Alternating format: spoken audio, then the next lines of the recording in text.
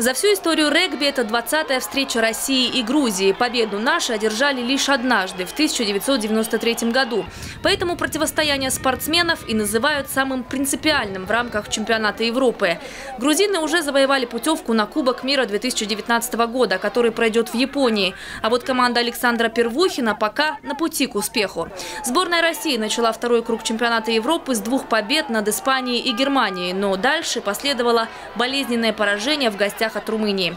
Пока медведи занимают третье место, опережая на 6 очков команду Испании и отставая от румын на 7 очков.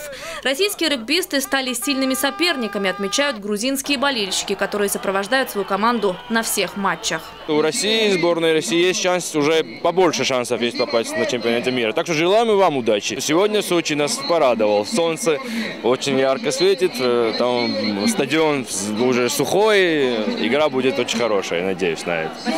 Спасибо, Сочи, спасибо вам.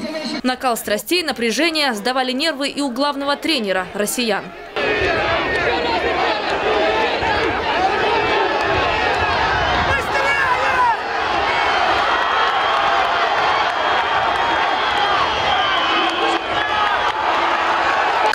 Минуте первого тайма грузинские львы, как регбистов называют болельщики, уже вели 10-0. Размочить счет русским медведям удалось за 7 минут до финального свистка.